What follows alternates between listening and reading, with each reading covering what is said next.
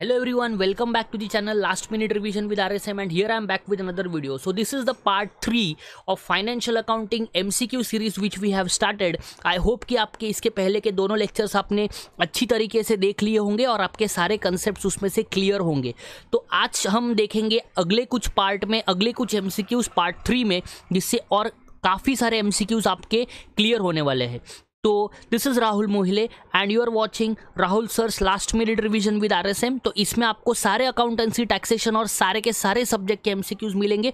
तो आइए शुरू करते हैं आज का session part three financial accounting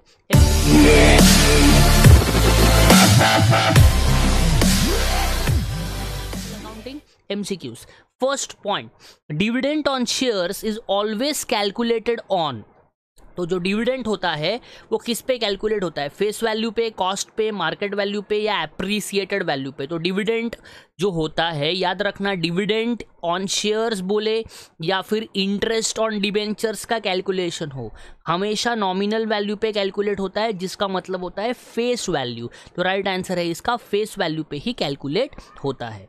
Question number second unclaimed dividend is shown under the head other current liabilities other current assets fixed assets या इन्वेस्टमेंट्स तो अनक्लेम डिविडेंट के जगह पे कहीं कहीं अनपेड डिविडेंट भी बोला जा सकता है। तो अनक्लेम डिविडेंट या अनपेड डिविडेंट कहाँ रिकॉर्ड होता है? वो रिकॉर्ड होता है अदर करंट लाइबिलिटीज के हेडिंग में। तो अदर करंट लाइबिलिटीज के हेडिंग में अनक्लेम्ड डिविडेंड रिकॉर्ड होता है। Question number three accounting standard board is constituted by I C W A I I C A I R O C या C ए जी तो accounting standard board जो है constituted किसके basis पे constitute हुआ है? That is the institute of chartered accountants of India तो right right answer है इसका आईसीएआई रजिस्टर ऑफ़ कंपनीज़ और कंट्रोलर और ऑडिटर जनरल इसका आंसर नहीं है. तो इसका राइट right आंसर है ICAI question number four buyback के ऊपर. Buyback of equity shares is of fully paid up shares partly paid up shares fully and partly paid up both या can't be buyback मतलब buyback हो ही नहीं सकता। तो बेसिकली ध्यान रखना बायबैक करने के लिए कंडीशंस है as per rule 68 of companies act 2013 और वो बोला गया है कि पार्टली पेड अप शेयर्स के not be buyback partly paid up अगर शेयर्स होंगे तो वो बायबैक नहीं हो सकते तो हमें सबसे पहले पार्टली पेड अप शेयर्स को फुल्ली पेडअप करना ज़रूरी है। तो इसीलिए पार्टली पेडअप शेयर्स कभी बायबैक नहीं हो सकते। तो इसका राइट आंसर क्या बनेगा? Fully paid up shares question number fifth में जाते हैं।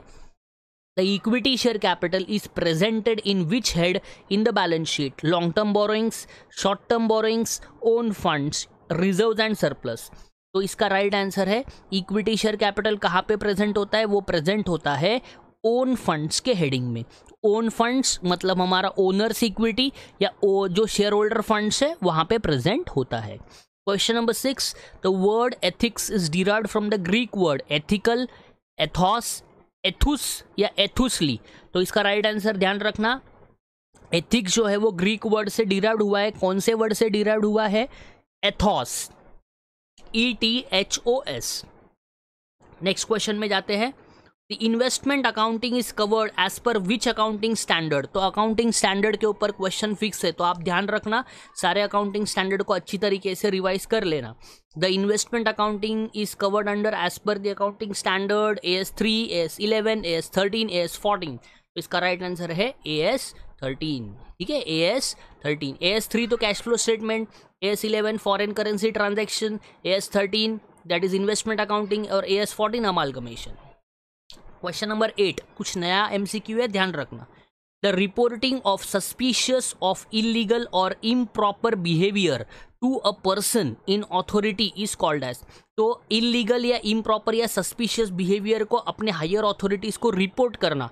उसे क्या कहते हैं? Blowing air blowers whistle blowing criminal suit तो ध्यान रखना, ऐसे पॉइंट को एक अलग तरीके से कंसेप्ट है that is called whistle blowing तो इसको क्या कहते हैं? विसल ब्लोइंग मतलब जो भी सस्पिशियस रिकॉर्ड्स है सस्पिशियस ट्रांजेक्शन्स है सस्पिशियस किसी का बिहेवियर है, उसी बिहेवियर को हायर अथॉरिटीज़ या हायर हायरार्की के बेसिस पे रिपोर्ट करना, उसे कहते हैं whistle blowing for internal reconstruction the order of dash is required members of companies shareholders court या डायरेक्टर्स ऑफ़ कंपनीज़ तो कोर्ट का ऑर्डर इंटरनल रिकंस्ट्रक्शन के लिए कंपलसरी है. हमने देखा था section 66 of companies act question number ten which of the following is classified as property plant and equipment under the companies act 2013 इनमें से कौन सा ऐसा पॉइंट है जो प्रॉपर्टी प्लांट और इक्विपमेंट के अंदर लिखा जाता है?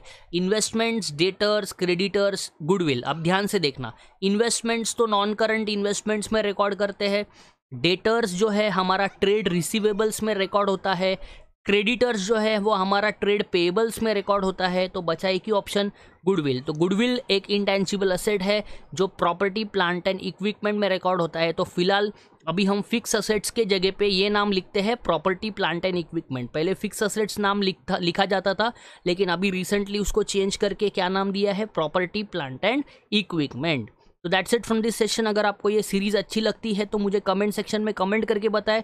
और इसके बाद आपको कौन से वीडियोस चाहिए, कौन से सब्जेक्ट के ऊपर आपको एमसीक्यू सीरीज़ चाहिए, वो भी मुझे कमेंट करके बताएँ। जिस, जिसके ज़्यादा कमेंट आएँगे, जिस सब्जेक्ट के बारे में ज़्यादा कमेंट आएँगे, उसी सब्जेक्ट का मैं इसके बाद एमसीक्यू सीरीज़ शुरू करूँगा। Thank you very much from this session till then as always work harder be smarter